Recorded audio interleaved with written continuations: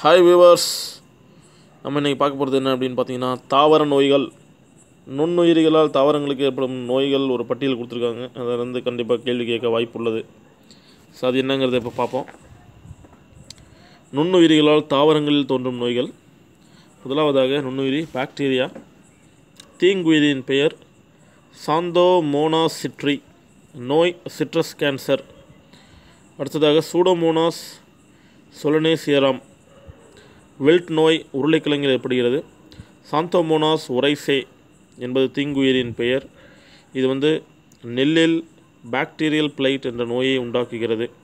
இவை மூன்றும் பாக்டீரியாக்களால் ஏற்படும் பாக்டீரியங்களால் தாவரங்களில் ஏற்படும் நோய்களாகும். அடுத்ததாக பூஞ்சைகள் செர்கோஸ்போரா பெர்சனேட்டா அப்படிங்கிற தீங்குயிரின் மூலமாக வேர்க்கடலையில் டிக்கா நோய் என்ற நோய் ஏற்படுகிறது. அதேபோல் செர்கோஸ்போரா அராகிடிகோலா என்ற தீங்குயிரினால் வேர்க்கடலையில் டிக்கா நோய் ஏற்படுகிறது.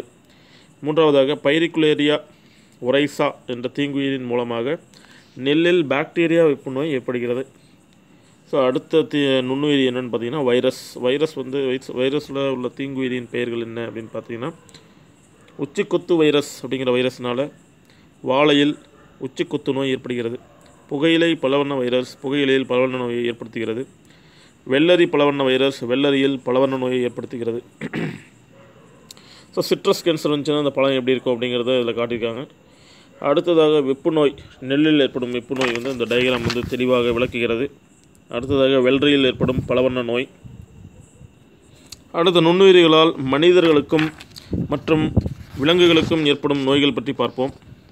தீங்குயிர் வைரஸ் நோய்கள் சாதாரண சளி போலியோ இளம்பிள்ளைவாதம் மஞ்சள் காமாலை இன்ஃப்ளூயன்சா எய்ட்ஸ் பரவும் மூலங்கள் காற்று நீர் மற்றும் நேரடி தொடர்பு. ஸோ எய்ட்ஸ் வந்து பாலியல் தொடர்பு மூலமாக பரவுகிறது. அடுத்ததாக பாக்டீரியா ஏற்படும் நோய்கள் காலரா டைஃபாய்டு ஆகியவை அசுத்தமான நீரினாலும் டெட்டனஸ் என்ற நோய் காயங்கள் காரணமாகவும் எலி காய்ச்சல் விலங்குகளின் சிறுநீர் குறிப்பாக அணில் எலி ஆகியவற்றின் சிறுநீர் காரணமாகவும் தொழுநோய் நேரடி தொடர்பு காரணமாகவும் ஏற்படுகிறது. மூன்றாவதான தொங்கியுயிரி பூஞ்சைகள். இதில் ஏற்படும் நோய் பாத தடுப்பு நோய். காரணம் பரவும் முறைகள் வந்து ஸ்போர்கள் நிலம் மற்றும் தண்ணீர் மூலம் இந்த பாத தடுப்பு நோய் பரவுகிறது. அடுத்து ஒரு சில உயிரிகள் மலேரியா நோய் பரப்பி கொசுக்கள்.